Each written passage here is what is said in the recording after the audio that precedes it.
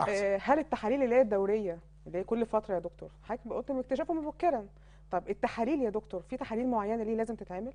لا بص حضرتك هو الأول أساسا آه إن هو يفضل إن أنا أكتشف الخلل الوظيفي الداخلي في جسم الإنسان في. جسم المريض ده بتاع السكر. في تحليلات نسميها تحليلات سطحية اللي هي بالظبط زي النمل اللي كان بيروح على البول ويدوقوه.